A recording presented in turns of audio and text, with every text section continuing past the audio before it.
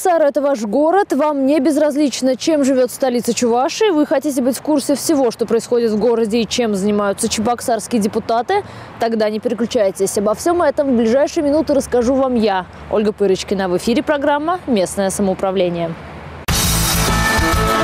Любишь чистую воду, люби за нее платить. Из-за чего тарифы на воду для чебоксарцев вырастут. Взгляды разные, цель одна. В Чебоксарском городском собрании появились разные фракции. Как это скажется на работе народных избранников?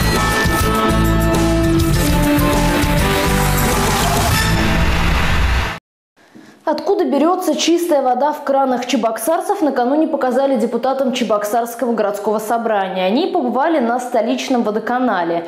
Будут ли теперь народные избранники пить из-под крана? И достаточно ли мы платим за чистую воду прямо сейчас?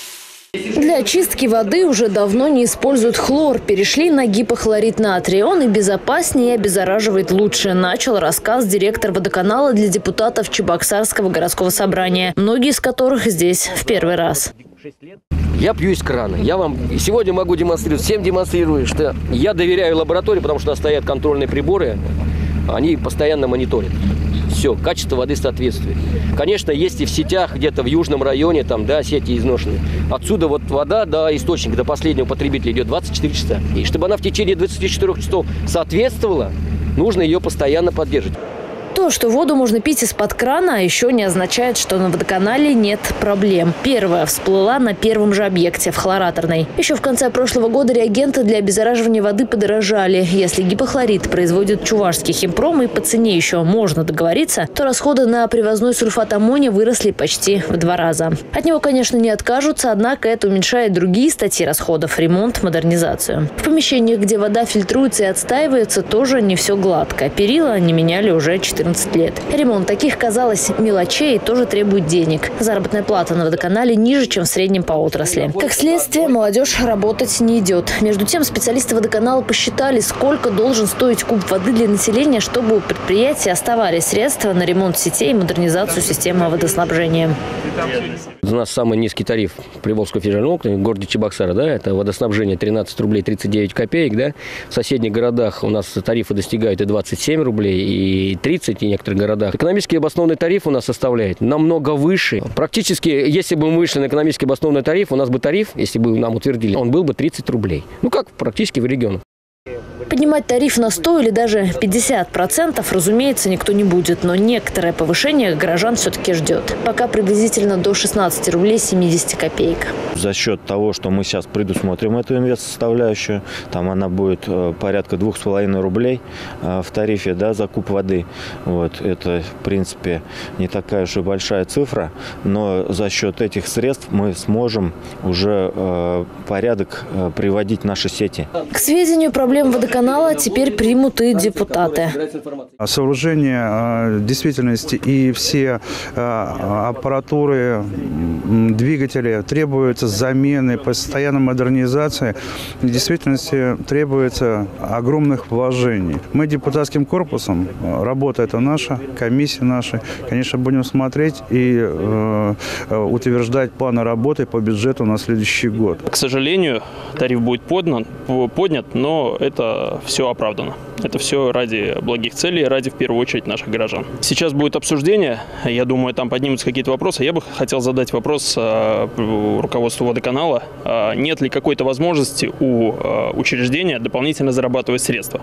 Они занимаются водой, как мы знаем, сегодня многие заказывают домой бутылизированную воду, во всех офисах стоят кулеры. Не всегда эта вода бывает из артезианских скважин, иногда это просто высокоочищенная вода.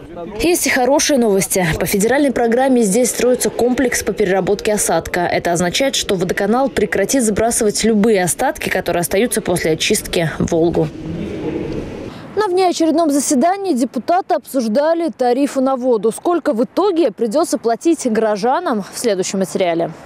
И вода чистая, и тариф низкий. Так, раньше можно было описать отношения чебоксарцев и водоканала, которые снабжают город водой. Ситуация, которая складывается сейчас, подходит под другую народную мудрость. Любишь чистую воду, люби за нее платить. Предприятие пришло в плачевное состояние. Сети изношены, резервуары старые, зарплата у сотрудников небольшая. Причин несколько. Во-первых, тариф на холодную воду в столице Чуваши уже много лет самый низкий среди городов ПФО. 13 рублей 39 копеек. Для сравнения, алаторцы платят за куб 27 рублей 46 копеек, и шкаролинцы 15 рублей 26 копеек. Во-вторых, в начале 2000-х руководство водоканала на модернизацию взяло кредит в долларах и попалось в ловушку курса валют. Так или иначе, водоканал разработал план спасения, специальную инвестиционную программу, которая, помимо прочих мер, требует поднять тариф для населения.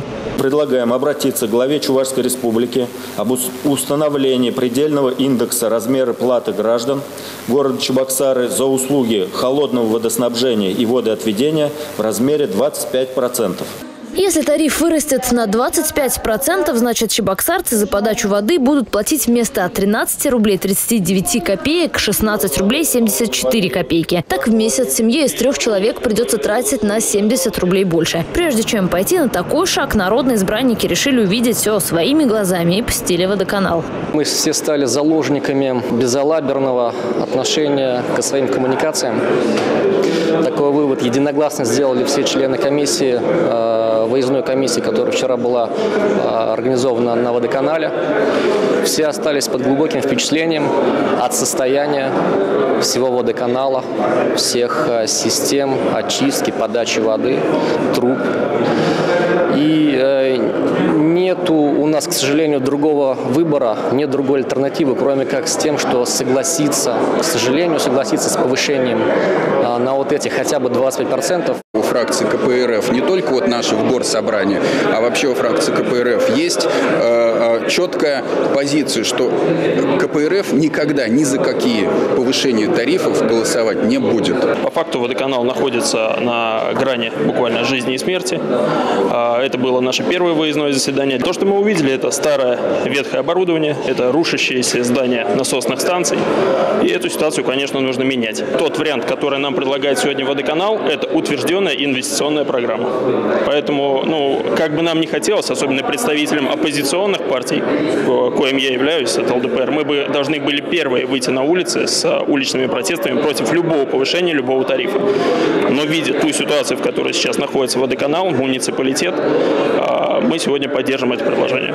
Я буду поддерживать э, как депутат э, о повышении тарифов. Почему? Да потому что сегодня кичиться тем, что у нас самый низкий тариф, в этом случае это аморально, понимаете? Люди поймут, но это неправильно, когда сегодня электроэнергия, которая питает этот большой комплекс, она сегодня поддерживается только одной линией, то есть нет аварийной или запасной. Из 35 депутатов 32 проголосовали за повышение, еще трое воздержались. Теперь слово за правительством республики. Депутатов шестого созыва Чебоксарского городского собрания чебоксарцы выбирали по-новому, по смешной мажоритарно-пропорциональной системе. То есть половину депутатов выбирали по одномандатным округам, проще говоря, по фамилиям, а половину по партийным спискам. Так, в собрании образовались фракции. Сегодня мы поговорим с представителем партии КПРФ Алексеем Шурчановым. Алексей Валентинович, здравствуйте. Здравствуйте. Вот как вы думаете, новый принцип, как повлияет на работу собрания? Ну, знаете, да, это был первый раз, когда в городское собрание прошли депутаты не только от одномандатных округов, но и теперь еще и э, представители э, фракций. И считаю, что этот новый принцип, ну, естественно, повлияет э, лучшим образом, потому что если раньше одномандатники были все представители партии «Единая Россия», то теперь, значит, есть оппозиционные партии, которые будут также влиять, будут стараться, во всяком случае, влиять на то, что происходит, значит, в городе. А тем более, если брать слова нашего президента Владимира Владимировича Путина, он всегда говорит, что оппозиция, она нужна, особенно конструктивная оппозиция. Скажите, а есть вопросы, по которым вы солидарны с «Единой Россией»? Ну да, конечно, есть. Это вопросы, вот мы обсуждали там э, по административным комиссиям, да, вопросы, э, касающиеся э, некой жизнедеятельности города, потому что, ну, понятно, что это нужно, и там, так сказать, меньше политики, там больше хозяйственной составляющей, естественно, мы эти вопросы все поддержим. Я просто хочу уточнить, что мы мы ведь э, не, не для того там присутствуем, чтобы вот, э, так сказать, э, играть в какую-то войнушку, понимаете, и, так сказать, э, если Единая Россия голосует за, то мы априори должны голосовать против. Естественно, нет. Мы во многих вопросах голосуем все солидарно, все фракции причем, то есть все горсобрание. Но есть вопросы, где мы принципиально будем расходиться, конечно. Я знаю, что округ, который вы представляете, он э, в чем-то уникальный. Расскажите, пожалуйста, про это. Ну да, 14 округ. Э, суть в том, что, э, вот как я уже сказал, по старой системе, когда одномандатники выбирались, они представляли, вот каждый одномандатный значит, округ имел своего депутата. Сейчас в нашем округе, так как система, как вы уже правильно сказали, в начале передачи озвучили, она была первый раз вот выборы по одномандатным партийным спискам, ну вот, например, в моем 14 округе, где я избран, там аж 4 депутата. Два от «Единой России», один ваш покорный слуга и э, депутат Никитин, значит, от э, «Справедливой России». Того 4 депутата. Вот, так сказать, такого бы раньше не было, скажем так. Ну что ж, 14 округу повезло. А вот что вы, как депутат, или, может быть, да, как представитель партии, вот в первую очередь сделаете в своем округе, или, может быть, уже сделали с момента избрания? Ну, знаете, вот моя приемная, которая которую, в общем-то, все уже, наверное, в округе знают. Я повторюсь, она находится в городе Чебоксар, улица Гузовского, 21, корпус 1. Она действует уже с июля месяца. На самом деле мы собирали во время выборов, э, так сказать, э, агитации, назовем это так, э, наказы наших избирателей. Многие наказы, ну, такие, я уж не хотел об этом говорить, но посыпать там крошку, да, там асфальтной крошкой, засыпать ямы и так далее, да, ну, это вот мы делаем. Значит, значит, сделали много наших избирателей, они э, идут все со своими проблемами, и мы с каждой проблемой будем разбираться. Вот всех их волнует, конечно, это и э, капитальный ремонт, и сфера ЖКХ. Я знаю, что вы, я зачитаю, являетесь руководителем Чебоксарской городской общественной приемной в защиту прав жителей многоквартирных домов по вопросам ЖКХ при Чебоксарском горкоме э, КПРФ. Вот эту свою деятельность, да, в качестве депутата ЧГСД уже вы как будете развивать? Статус депутата мне, может быть, даже поможет в этом плане, потому что у меня появились выходы на э, наших, скажем так, руководителей э, отделений, имеется в виду вот в администрации, да, на э, главу администрации, на его заместителей, для того, чтобы помочь людям и решить насущные вопросы. Вот вы помните, что у нас э, сейчас э, действует, и знаете, федеральный закон о капитальном ремонте, да? Фракция КПРФ подготовила законопроект, который будет внесен в Государственную Думу, да, о том, что значит, 85% оплачивает государство, то есть софинансирование, а 15% всего оплачивают граждане. И причем они начинают оплачивать не так, как сейчас мы оплачиваем, а именно, э, так сказать, от 5 лет до ремонта конкретного срока осталось 5 лет, да, и они вот эти 5 лет начинают платить. И эти э, как бы механизмы, на самом деле, они, их можно внедрить и можно их сделать. Спасибо.